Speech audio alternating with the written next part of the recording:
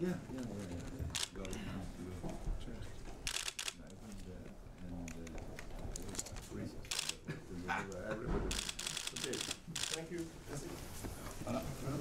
Merci.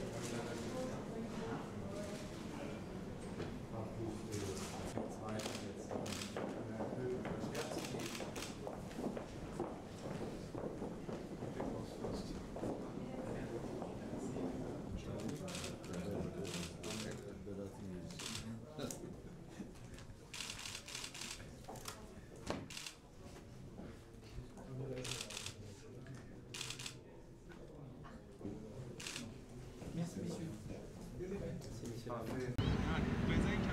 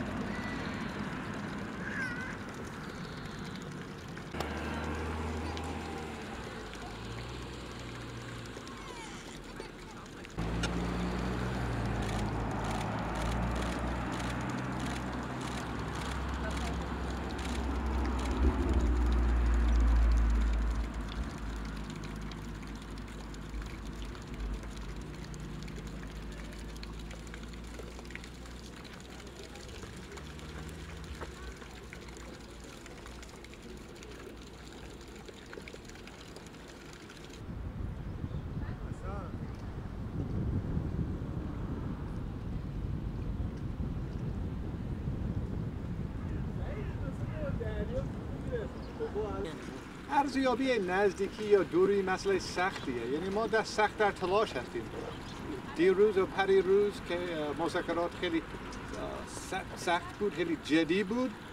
ولی همه ما کوشش می‌کنیم تا انشاءالله قبل از ضرب العجل به نتیجه برسیم.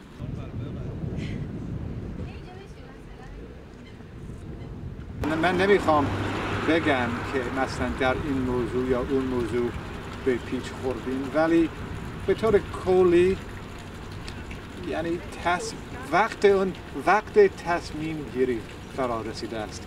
و الان تصمیم ها باید اتخاذ شوند برای رسیدن به یک تفاهم مشترک و یک چارچوب سیاسی.